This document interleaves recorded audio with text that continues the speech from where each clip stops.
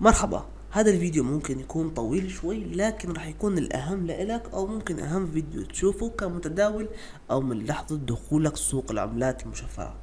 طبعا أصدقائي أي شخص بدأ مسيرته المهنية بسوق التداول والأسواق الاقتصادية بهمه شغلة واحدة بس هي التداول وتحقيق مرابح طبعا ما بهم الطريقة أو ما بتهم كيفية تحصيل الأرباح أو من أي سوق. أهم شي تستوفي بمعيارين مهمين. أولا تحقق الشروط يلي تبعدك عن المحرمات الدينية حسب ديانتك. النقطة الثانية إنه تبتعد عن المخاطر وتبتعد عن النصب والاحتيال وخاصة من الشركات الاستثمارية. في بعض الأشخاص ممكن يشوفوا هذا الفيديو ويقولوا إنه أنا بروج لشركة استثمارية. هذا الشي شيله من راسك أنا ما بروج لهيك منصات نصب واحتيال. الطريقة اللي راح أشرح لك إياها هي الطريقة الأفضل لكسب المال من الأسواق المالية. خليني نكمل موضوع الفيديو.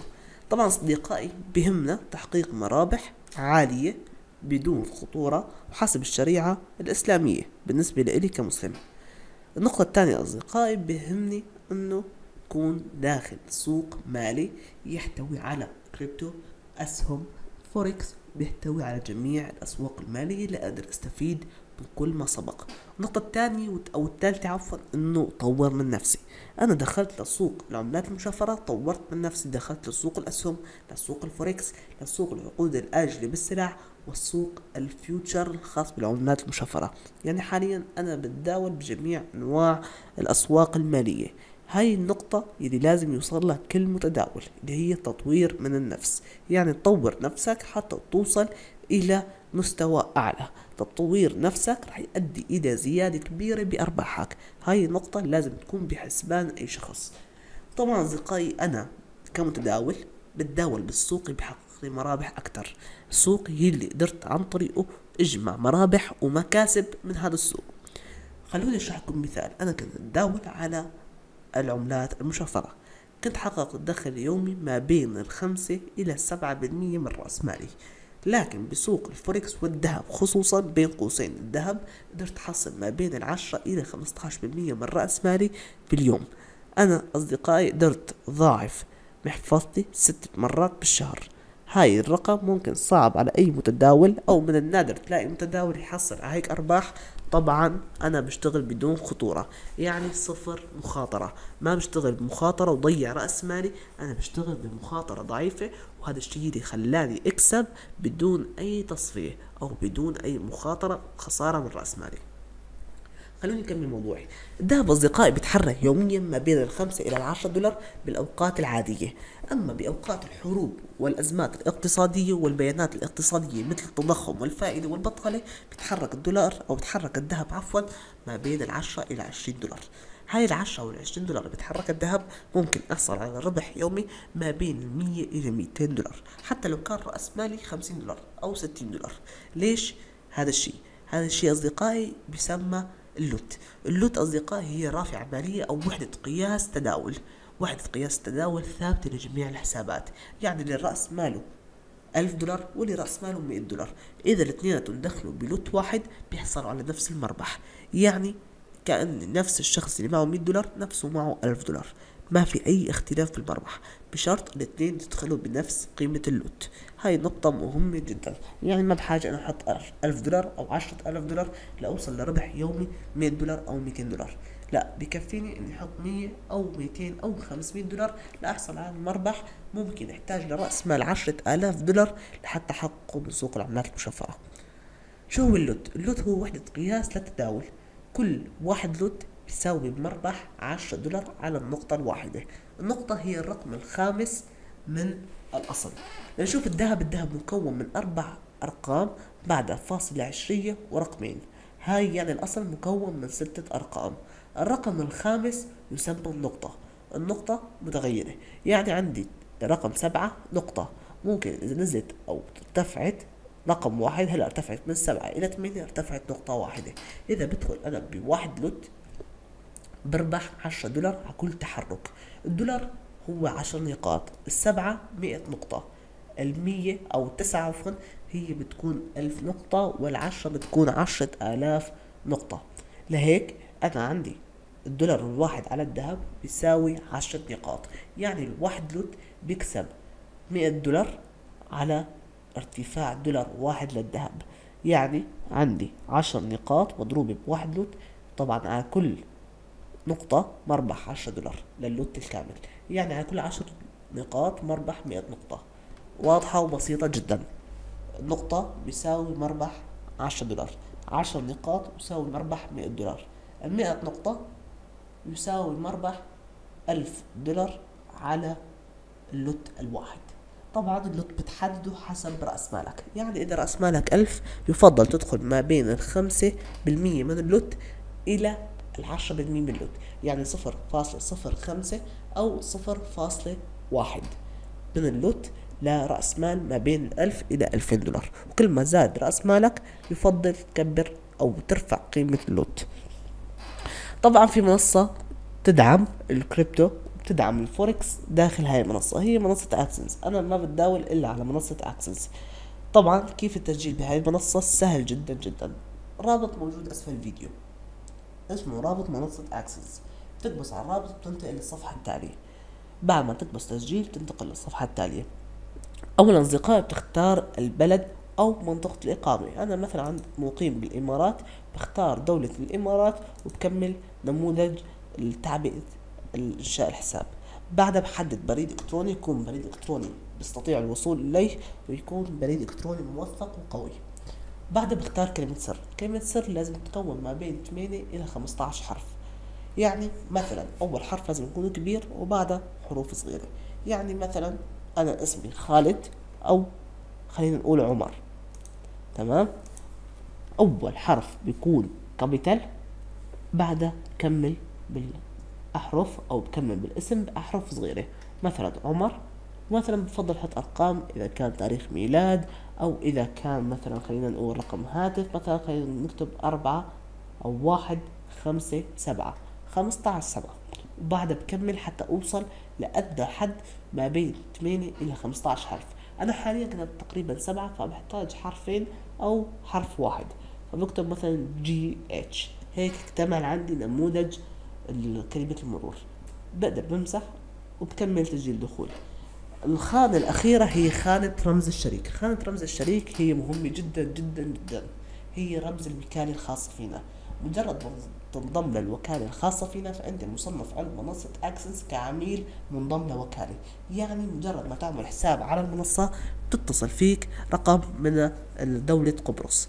هذا الرقم هي تابع لمنصة Exness وأحد أعضاء منصة Exness بيتواصلوا معك وبيشوفوا شو هي متطلباتك؟ هل عندك مشاكل؟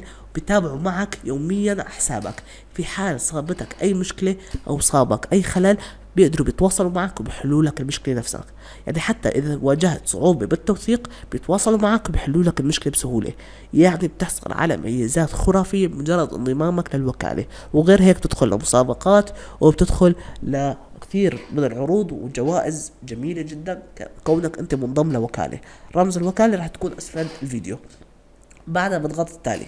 خلينا معكم بعبي فراغات بعد ما أكملنا عملية ننتقل للحساب. طبعا أنا قدرت أوثق بخمس دقايق. كل اللي علي إني قدمت الوثيقة الهوية وجه وظهر وقدمت آه، إقامة سكن. بتكون رخصة ماء أو رخصة كهرباء أو حتى رخصة قيادة.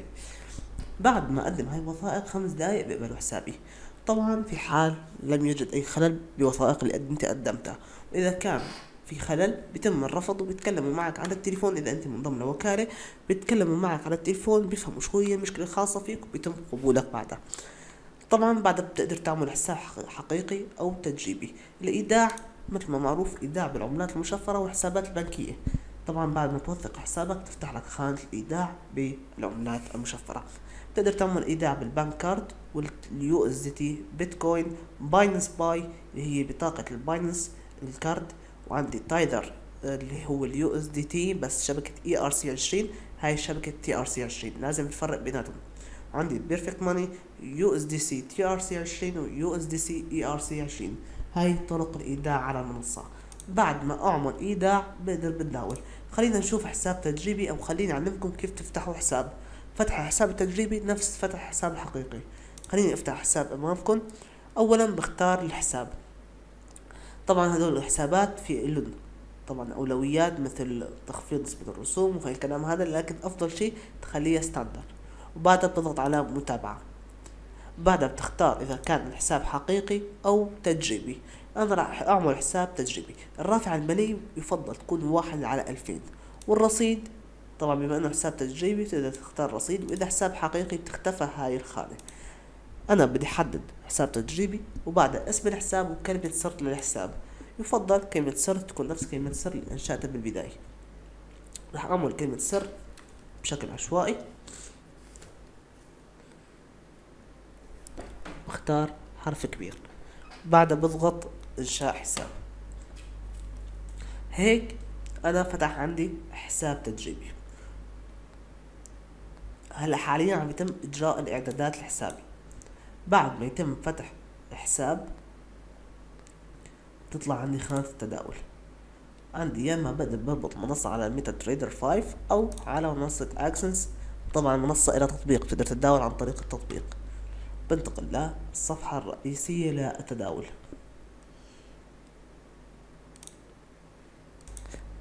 بهاي البساطة بنكون دخلنا عالم الفوركس وعالم التداول بالفوركس. هون مكان تحديد الشورت أو ال long صفقات شورت أو long وهون بحدد اللوتات. مثل ما حكيت حساب ما بين ألف دولار إلى ألفين دولار بدخل ما بين صفر فاصلة صفر خمسة lot صفر واحد. أنا بما أنه حسابي خمسمية دولار حساب تجريبي خمسمية دولار بختار صفر فاصلة صفر خمسة يعني خمسة بالمية من ال lot وبعدها بضغط long لصفقة صعود أو شورت لصفقة هبوط بعدها بضغط تأكيد. وطبعا عندي هون الفريمات مثلا أنا بدور على frame 15 دقيقة وأنا بختار الشموع تكون الشموع المعتادة. وهون عندي بيتكوين أو ذهب عندي pound مقابل دولار ويورو مقابل دولار. وغير هيك عندي كثير من العملات المشفرة بقدر بتداول عليها. مثلا خلي اختار عملات رقمية. عملات رقمية هاي العملات الرقمية موجودة عندي ولسه كان في عملات رقمية مثل XRP وبعض العملات لكن العملات اللي كانت خاضعة إلى آه، عقوبات من الولايات المتحدة الأمريكية تم حذفهم لأن هاي منصة تعتمد على البورصة العالمية. لهيك عندي اثريوم و LTC بيتكوين بيتكوين مقابل ذهب بيتكوين مقابل فضة وكثير من الأزواج الثانية للبيتكوين. أنا بفضل اتداول فقط على الذهب. مثل ما شفتوا أمامكم فتحت الذهب بسهولة جدا. صفقة الذهب فتحت معي بسهولة جدا. خلينا نفتح مع بعضنا. أنا فتحت عفوا صفقة يورو. بروح على صفقة الذهب. مثلا أنا بدي أدخل بصفر فاصلة عشرة لوت تمام؟ بدخل. تأكيد بيع.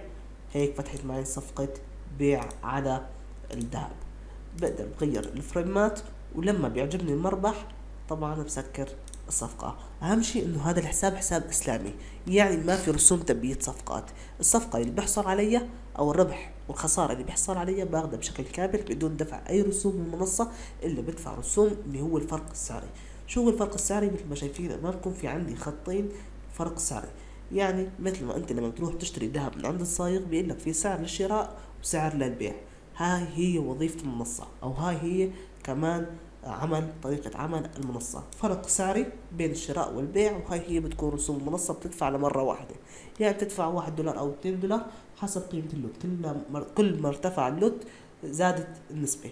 لكن مجرد ما تسكر الصفقة أو مجرد ما تدخل الربح وسكرت الصفقة أنت هيك دفعت الرسوم ما بقى بتدفع أي شيء للمنصة ما في رسوم تبييض صفقة يعني حساب إسلامي مية بالمية.